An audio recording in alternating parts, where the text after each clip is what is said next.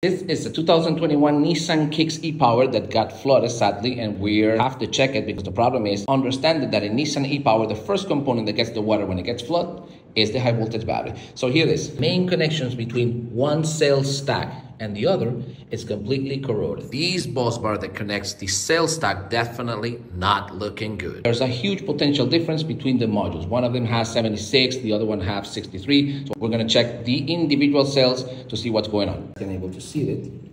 And let's read the individual cell voltage.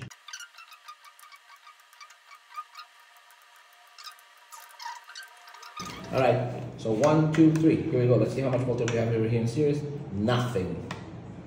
Nothing. The chain is completely broken in these cells.